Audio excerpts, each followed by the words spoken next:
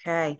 Good morning, everybody, and welcome to our Health to Hold webinar series hosted by Ocean Monmouth Health Alliance and highlighting the work of all of our coalition partners. Um, today, we have Cancer Support Community helping us to highlight Cancer Prevention Month in February.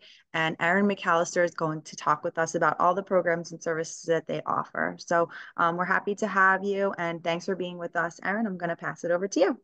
Okay, good morning. Thank you all for being here. Um, it is Cancer Prevention Month, Fe February, and we work with cancer patients and their families. So typically people are already diagnosed once they come to us. So I just wanted to say that, but we certainly participate in all of the screenings and the different community events that are offered um, so that if people through those screenings are diagnosed, they know that they have a support community to come to. Um, so I have a few slides and mainly a great video. And the video um, is a little bit long. It's like about 10 minutes. So, but it's well worth it. It's our members, you know, sharing their stories, three of our members. And I figured that was a good way to talk about our program versus listening to me ramble for, you know, the same amount of time. So um, bear with me for a couple slides as I share my screen and then we will watch the video together. Um, I wanted to say first and foremost, you know, we are located in Linwood, which is Atlantic County. And originally we served um, obviously anybody that would come to us physically in Linwood. So if they were fine with driving an hour, that was fine with us too.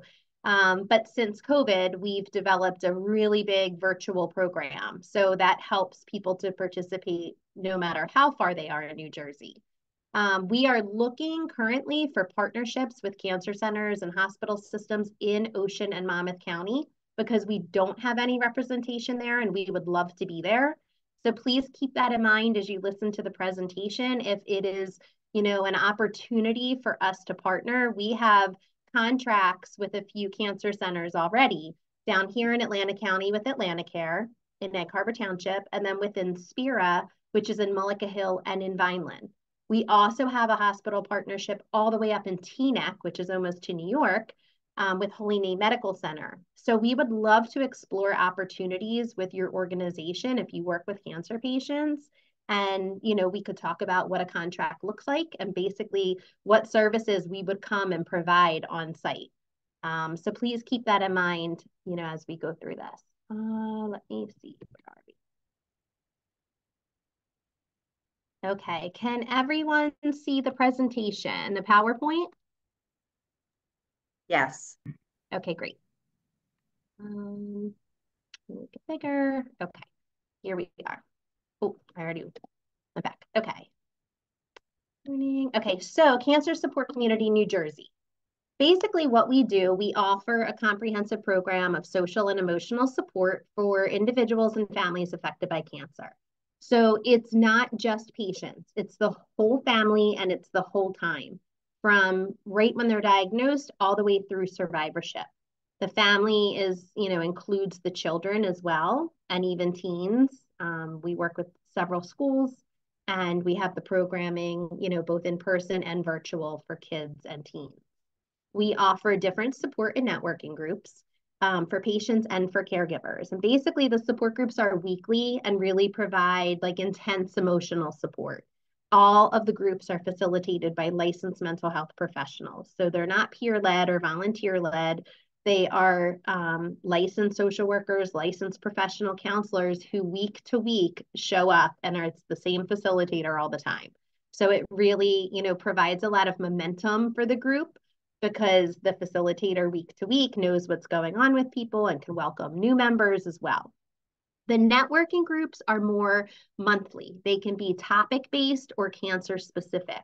So there might be a breast cancer group, a prostate cancer group, or it could be a topic group, like, you know, um, a support group for parents who are living with cancer who have small children, or a couples group, something like that.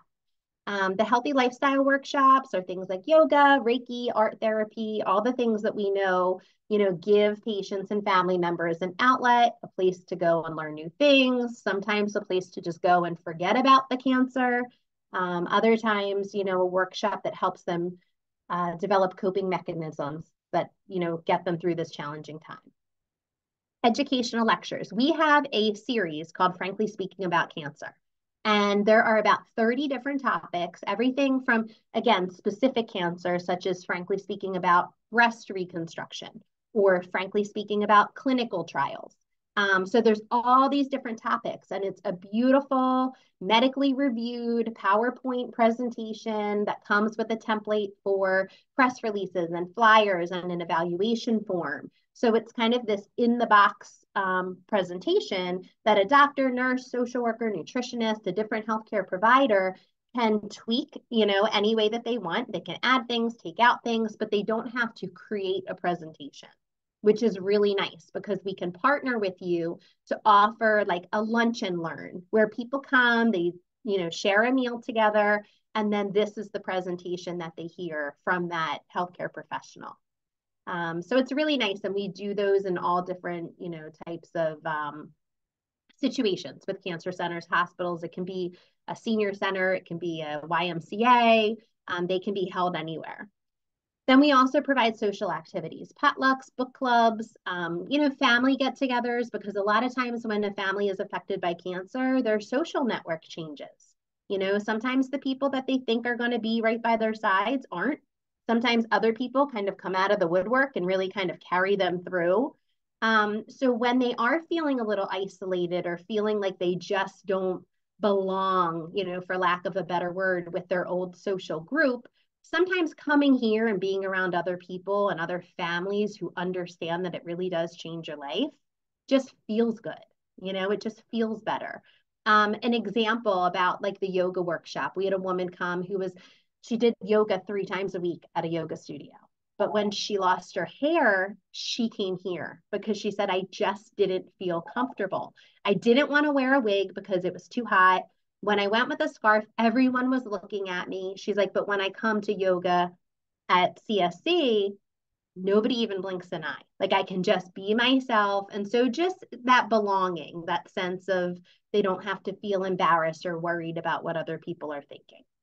Um, and Kid Support. Kid Support is our children's program where it's age appropriate education and support for kids who mostly have a parent with cancer or a parent who's passed from cancer, but it is also open to kids with cancer. We just don't see many of them because of where we're located. We're in Linwood, and the closest children's hospitals where they're treated are DuPont and CHOP, which isn't very close to us.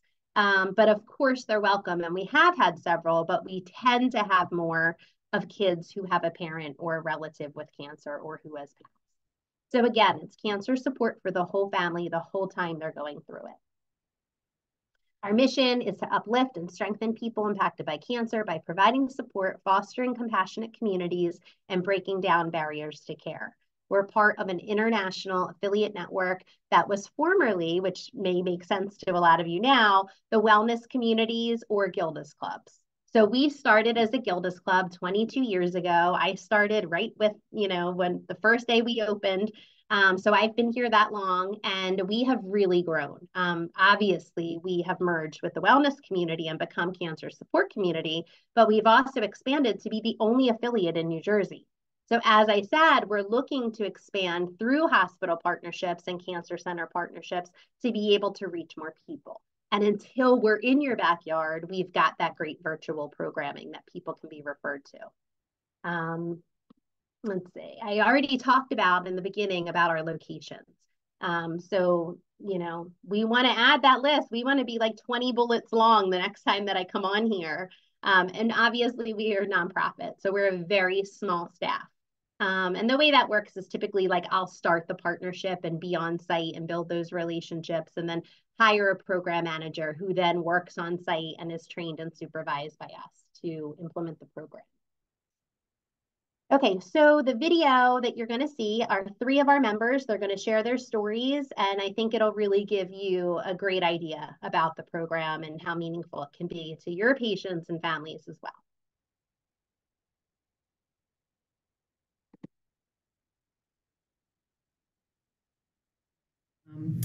I had um, pneumonia and um, it wouldn't go away. And I went back, I was on a couple rounds of medication, and the, my doctor suggested I get a chest x ray.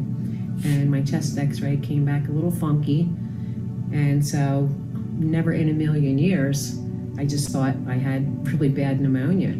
So they said, let's send you for a, I can't remember if I had the biopsy first or the PET scan. I can't recall how that goes, but I had both of those done. And um, I was at Penn Medicine with um, a couple of my children, and they, the oncologist came in and said, um, you do have lung cancer. And of course, I was shocked, but he said, and of course, one of my children said, What kind of lung cancer? And they said, He said, stage four. Well, as you can well imagine, all of us were just, you know, blown away. Um, I immediately went into shutdown mode. That's all I had to hear. I had lost my husband previously, so um, I didn't want to deal with one more thing in my life. So I did. I I, I had myself um, done. I was done. Nobody lives with stage four lung cancer. So it was devastating. My children thought it would be a good idea because they could not really relate to what I was going through. Um, so uh, there was a virtual group which I joined, and um, I've been on ever since. It's been a couple years.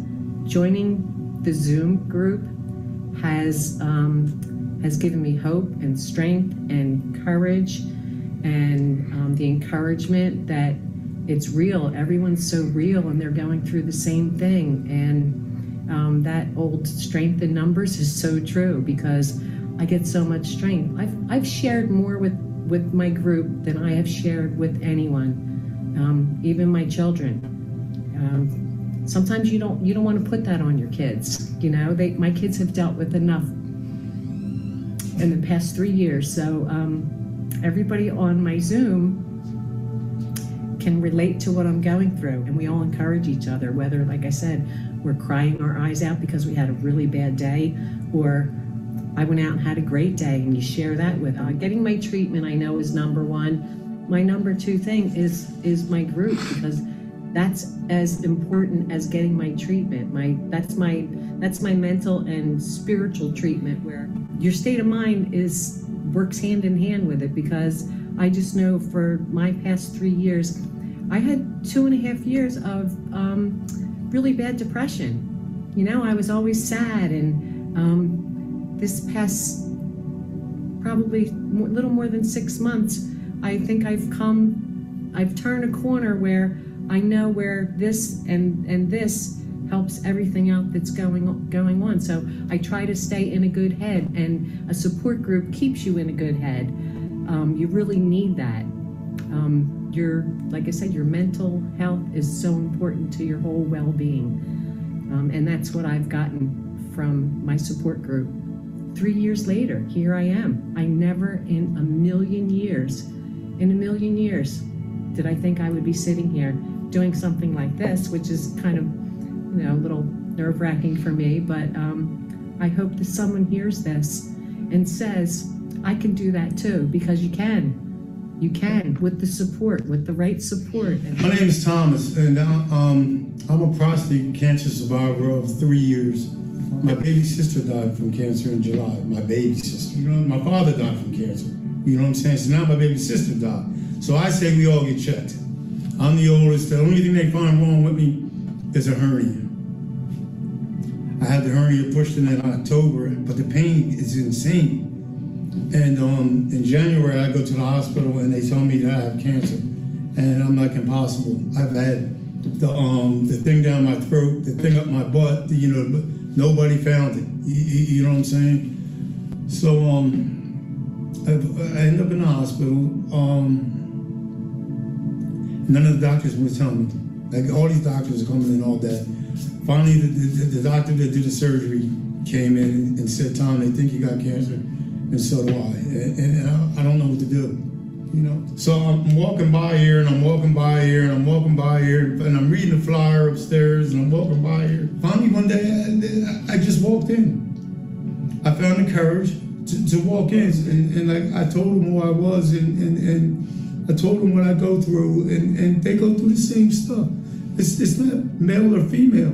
It's it's it's the feelings that we go through. It's it's it's it's it's not being able to sleep at night, not because you're worrying about paying your cell phone bill. You know what I'm saying? Because you might not wake the hell up. Without the group, I'd be lost. Uh, I, I truly would. I would have no one to talk to, understand. It's, it's a hard ride. You, you, know what I'm saying? So scheduling my medicine around the group um, um, gets me here. I know that I found some place where I feel like I fit in. Cause I need this to, to, to make it through to the next week. You, you, know what I'm saying? It gets me up, it gets me dressed, it, get, it, it gets me wanting to feel good about myself. You know? My name's Erin. I am 47 years old. I am originally from Sutton, Massachusetts. I live down here now. Um, I am a social worker in the community. I assist individuals that are experiencing homelessness or at risk of homelessness. Um, I was diagnosed with stage one breast cancer um, last May. Um, it was actually like the Thursday before Memorial Day. Um, but initially, when I thought, oh my gosh, I just got diagnosed, I'm 46 years old, I was literally like, I'm gonna lose my hair. Like, and I have a lot of hair. um, it's fun up there, but you'd be surprised at how much is hidden up in that bun. Um, I'm gonna lose my hair, and then it's like, oh my god, I'm gonna get fat from chemo. So not only am I gonna be like 46, but I'm gonna be bald and fat. And I'm like, I can't even like that was like my first thought, but it was just like superficial fears. You know what I mean? Like, and then being an in, like I'm a very independent person, and then the idea of like, oh my god, I have to like rely on other people to take care of me, or like I have to ask people for help was like a lot. Um, like in my overall like scheme of things. Um, but that day when I got diagnosed, I was at my office. I was working. You know, it was like I'm still in the middle of my workday and I got the call and it was like I have to go.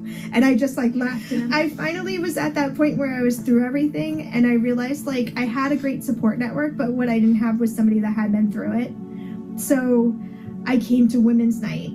Um, that was my first group I came to. It was a Wednesday and I came in, I didn't remember like the build up. Like I signed up and then like the build up to come. Like even coming here, I was like upset and emotional because it was like I'm joining the community. I'm finally like admitting and a part of it. And it's like putting it out there in a way. It's it's been like something where like I can go to and it's just like people that understand this side of my life. Like it's not like about like me being the social worker or me being any other part. It's just like this part of my life that I have people that understand and support me just based on that. Like this is something I'm going through and you get it. You know, we talk about non, you know, like not just cancer. You know, we talk about other parts of our lives and it's great because it's just nice to have other people to talk to that understand how cancer impacts other parts of our lives. It's kind of nice to have other people in the same boat. My name is John Daly. Pleasure to make your acquaintance. Um, I'm 28 years old. I'm diagnosed with stage 4 alveolar soft tissue sarcoma.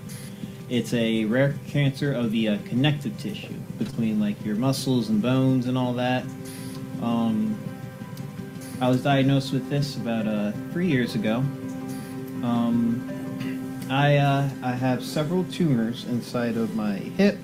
Uh, I have a literal pain in my ass, under my ass, and uh, several lesions inside of my lungs, as well as a nodule about the size of my fist. Then I have these two on top of my head here. This big one and then this this this this pretty little doll. I have a very like can do attitude, real strong will kind of thing going for me. But uh yeah, I'm not gonna lie, it's scary. You know? It's it's you know, I, I like I try and stay I try and stay optimistic and positive, you know, but uh yeah, it's the fear of the unknown. You know, it's not knowing if you're going to like if it's going if if this treatment's going to help, not knowing if uh, you know like if the if the if the treatment will actually make you feel worse, like like go, going going through this cancer journey, you know, it's scary. It's it's a lot. It's hard. The group definitely brings different perspective. They're going through the same thing that you're going through. Like they they might have tips or tricks or uh, info that you normally wouldn't get from you know Google googling on a uh, you know on your phone or like or even asking your doctor sometimes because your doctor will give you the he'll give you the facts right but um there's a there you know there's there's something to be had from uh, actual lived experience that uh, you wouldn't get otherwise unless you went to a group. I'll, I'll admit it. I am a stubborn person. I don't like to ask for help, but honestly, I I've been working. I've been working on asking for more help because I need it. You know, um, it's it's rough. It's hard having cancer. You know, there's a there's a lot there's a lot of uh, pain, not physically, not just physically, but emotionally, spiritually. You know, you're not alone. I think that's the most important thing. You're not alone in this journey. You know, you go to the group, you have them. Th- those people there, it's like it, it it's awesome. It's good. It's great. It, it feels like family almost. I can talk to I could talk to any of my family or friends about what I'm going through, but they'll never fully understand what I'm going through. They couldn't even relate to what I'm going through. There's a there's a kind of connection that you can't make anywhere else that you get from when you go to the group, and uh, I think that's very special. I think it's awesome. Whenever you share your story or when you hear others share their story, you know, you're you're like you, you glean little bits of uh, little bits of wisdom from everyone. Never and just sharing your story. It's it's very cathartic. You know, it's very it's nice having someone to listen to listen to you, and then you could possibly be helping someone else out at the same time. You know, like we like when you're in the group, we all care and lo- like love each other. We listen to each other. You know, it's it's great. It's just really it's really great place to go to. Uh, whenever I talk to people about my cancer journey and stuff, I hope that you know they'll be able to relate or find something something from my from my what I have to say that'll help them to keep going or to at least have a better day than they were having earlier.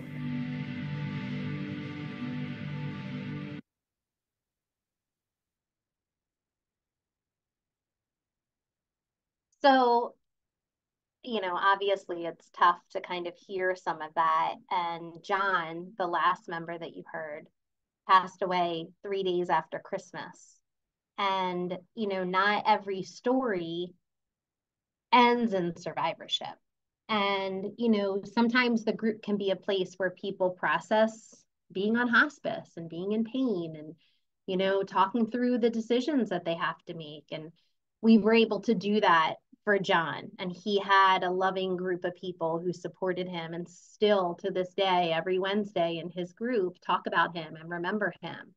Um, so it's, you know, the program is special. It is. It really kind of gets down to like the raw emotions and the, excuse me, um, some of the more difficult issues that are, you know, really personal when it comes down to trying to live with cancer, regardless of, you know, what the outcome's going to be.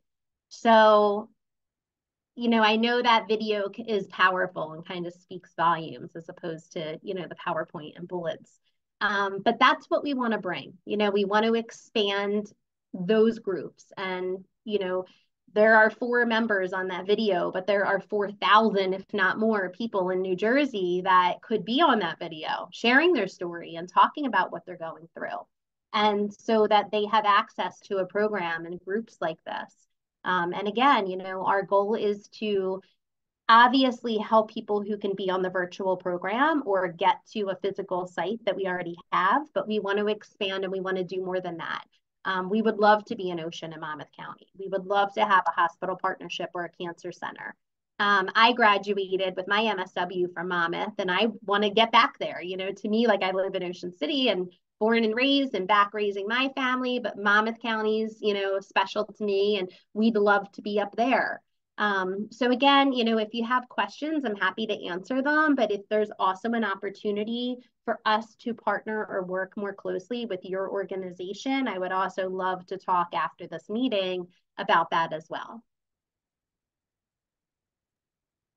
Thank you, Erin. Um, yes, the video was very powerful very powerful and several different stories with different outcomes, right?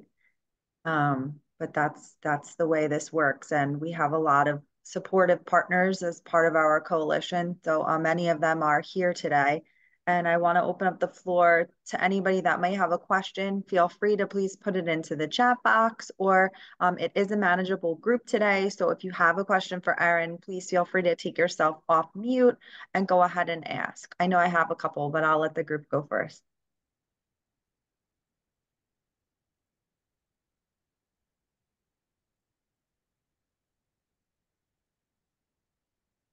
In-person groups. I can see in the message they're asking if we offer in-person groups. Yes, we offer in-person groups at all of the locations that were mentioned. So our main location in Linwood, which is right outside Atlantic City, um, Inspira, both in Mullica Hill and Vineland, Atlanticare in Egg Harbor Township, and then up in Holy Name um, Medical Center in Teaneck. So all of the locations offer in-person groups, workshops, educational lectures, social activities, in addition to the virtual piece.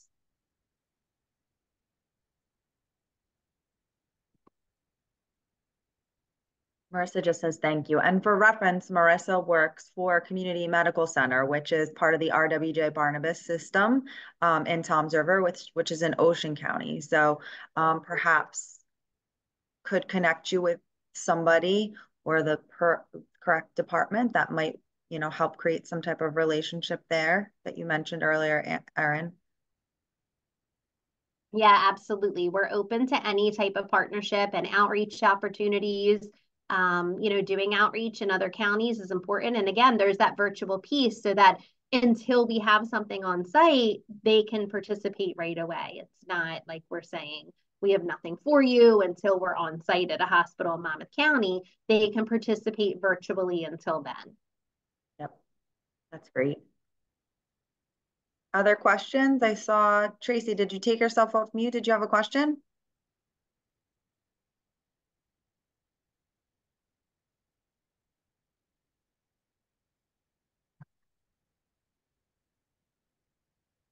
All right, if no one else has a question, I'm going to ask a, a couple of questions here. So in the very beginning of your presentation, Erin, you mentioned that you know, you typically see families once they have a diagnosis, but you know that screening is very important and part of the process um, with a lot of the work that we do in the community. So um, obviously, we have very great partners in the CEED program, and we do um, encourage screening for those who have no insurance or um, don't have full coverage insurance through our CEED.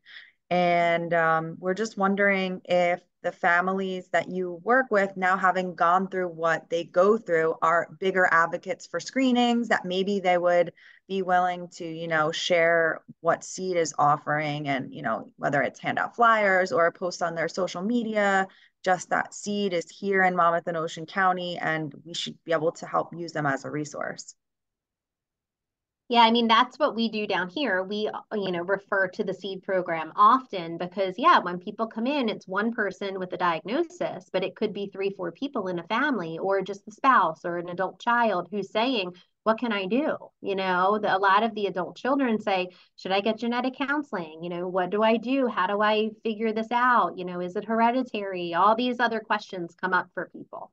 And so they're often, you know, not diagnosed, but looking for resources and looking for information. And we have an ability then to refer and to connect them with other community resources who do the screening, um, which is important. And, you know, some of the educational lectures, you know, are geared towards people who don't have cancer because it is information about screening, it is information about prevention. Um, and we bring in our partners, you know, to give those talks. So, you know, participating in community outreach, having a table at a healthcare, you know, information event, those types of things are where we really network with those other um, organizations. And of course, like coalitions like this, an alliance, you know, the different county, um, the different county coalitions. Perfect. Perfect. Thank you. Um, the other question that I had was about another hospital partnership. So actually my, um, my community health worker came to us yesterday and said, um, what what kind of support groups are being offered in Spanish these days? Like, how can I connect our Spanish speakers to the support that they may need? So, I wanted to pick your brain a little bit about that here today and ask about what you guys might offer in Spanish, if anything. Yeah, I mean, you know, full transparency, nothing. We have in the past, and we had certain grants that provided us an opportunity to have a person go into Atlantic City um, in more of the Spanish speaking communities, and we did some work and it was great. But unfortunately, like most of you know, if you work for a nonprofit, when those grants come to an end, it's often hard to find that funding again. Um, not to be said that we wouldn't look for it again. But some of our bigger affiliates in bigger cities, of course, have incredible Spanish speaking programs. They almost have everything we offer in English in Spanish, not just the group, but the workshops, the lectures, all of it. Um, you know, as a resource, I would say that our headquarters, which if you went on to cancersupportcommunity.org, you can find an affiliate for someone, but you can also tap into their resources. And they have a huge library of Spanish materials. They may have virtual groups that kind of anyone can join because they have funding for the Spanish speaking populations. Um, so there are kind of bigger, you know, resources out there, but locally, we don't have that. We would love to partner with someone and be able to offer it, um, but we don't currently offer Spanish speaking programs. Okay.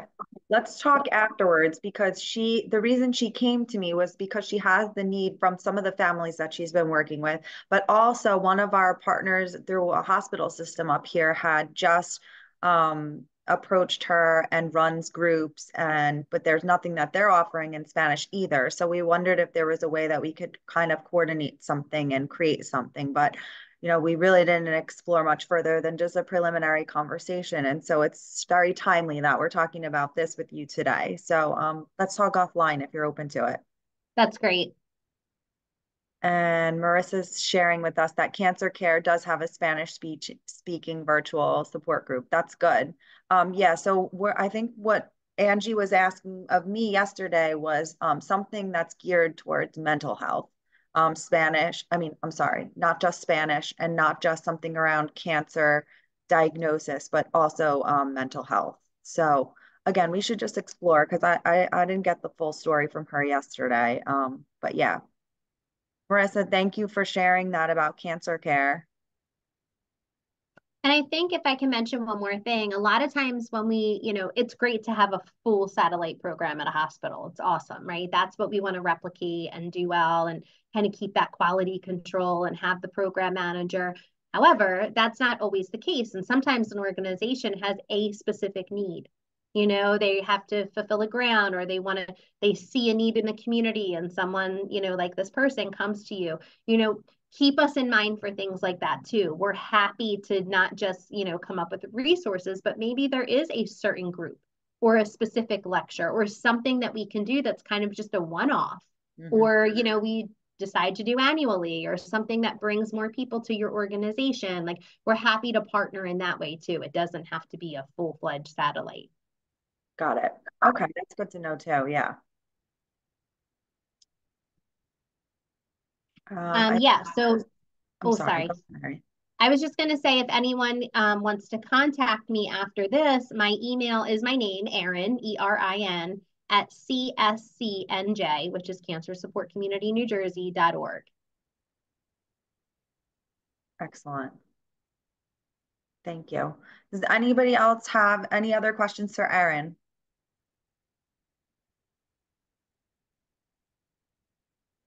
Okay. All right. So I'm going to give a couple of quick updates from the coalition and then we can um, conclude today's presentation. Uh, so we have this series running every month and the next time we're going to do it is on March 27th. It's a Wednesday from 10 to 11. Um, we will be highlighting colorectal cancer in March and Hackensack Meridian Health will be um, sharing their programs and services and talking to us a little bit about colorectal health. So that's that. And then um, one shift and change in our health equity response staff. We, um, as many of you know, uh, Ocean Monmouth Health Alliance took on a health equity response component and added it under coalition a few years ago. And Diana Rios was always the person in that position. And more recently, Diana has moved on to a different position. And we have Kathy Zapsik, um, filling in with us and doing that component of the grant. So thank you, Kathy. She's here with us. If you see Kathy's name, um, that's that's who she is, and she'll she'll be the person to reach out to if you want to do anything health equity related or any kind of COVID nineteen needs. So a talk, a resource, any type of guidance, and um, Kathy would be our person. So I can put her information into the chat box for us just so you have it. And um, yeah, I think that concludes all that I have today. I'll give one last call for anybody who may have a question for Erin.